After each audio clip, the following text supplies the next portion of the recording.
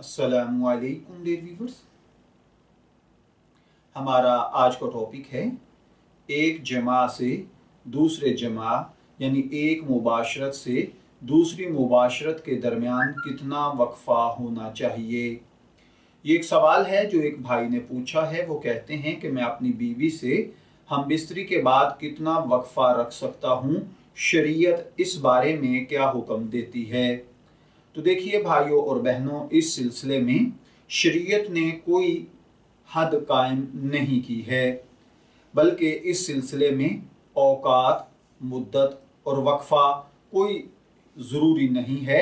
न इसमें शरीयत ने कोई हद मुकर की है। हाँ सिर्फ़ अयाम ममनुआ के अलावा कभी भी, दिन या रात में किसी भी वक्त, किसी भी लम्हे, जब आपका दिल चाहे और बीवी की तबीयत ठीक हो तो उससे मुबाशरत की जा सकती है। अलबत्ता मिजाज और क़वत के एतबार से अफराद की नोयतें मुख्तलिफ़ होती हैं।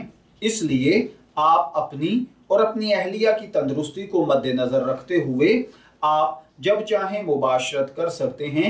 इसमें शरई तौर पर कोई कबाहत नहीं है। सिर्फ़ ममनुआ अयाम नहीं होने चाहिए।